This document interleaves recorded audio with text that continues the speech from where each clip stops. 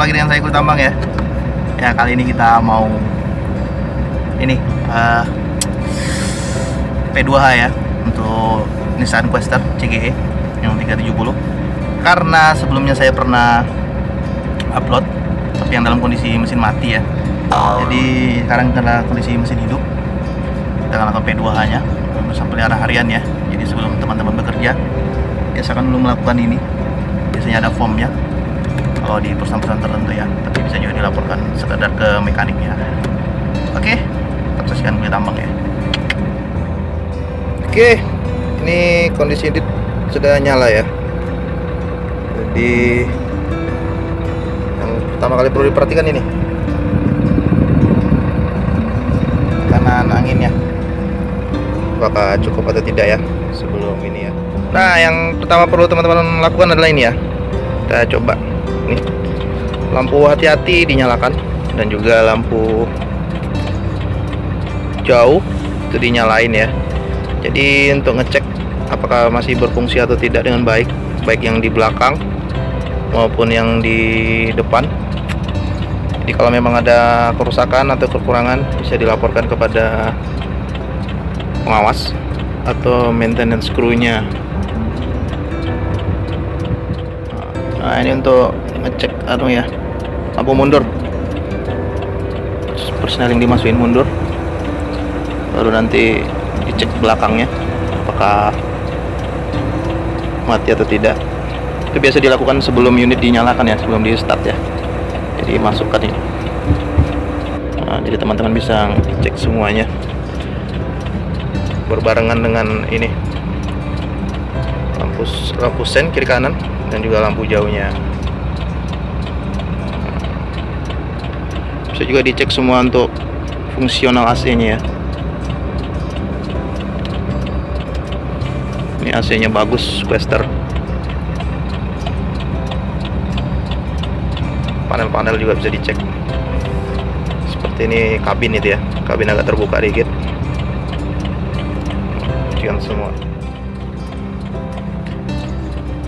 Jangan lupa ngecek fungsi dari wiper wiper ada di sebelah kanan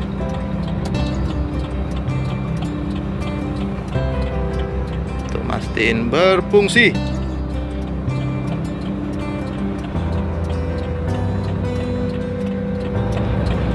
Setelah itu pastikan ya fungsi dam. Ini fungsi vesselnya berfungsi damnya ya dengan cara menaikkannya Nah, apabila sudah dinaikkan, teman-teman bisa memeriksa bagian bawahnya, bagian bawah vessel yang mana ada mungkin ada torque joinnya yang belum dicek atau kondisi mati ya. Bisa dicek terlebih dahulu. Untuk cara pengoperasian damnya ada di video saya yang lain ya, tutorial pengoperasiannya. Teman-teman bisa lihat.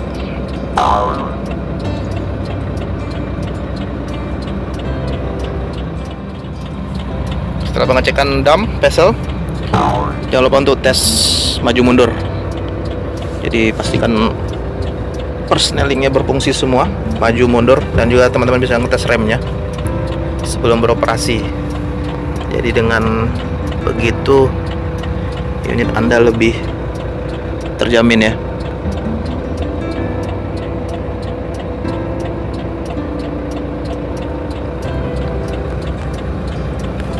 Pastikan klakson anda juga berfungsi ya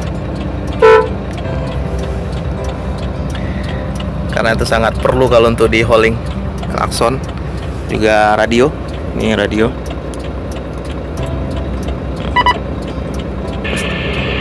Pastikan bernyala semua. Lampu. Paling utama itu lampu baru rem anda uh, klakson baru radio. Untuk menunjang untuk kelancarannya. Oke. Okay. Oke bosku Itu dulu ya sedikit berbagi ilmunya Walaupun pada intinya sama ya P2H ya. Semua unit tuh hampir sama. Uh, Cara pengecekannya sama aja. Cuma mungkin ada perbedaan-perbedaan posisi Cara pengoperasiannya ya. Untuk hal-hal yang perlu dicek itu sama. Jadi Semoga informasi ini bermanfaat ya.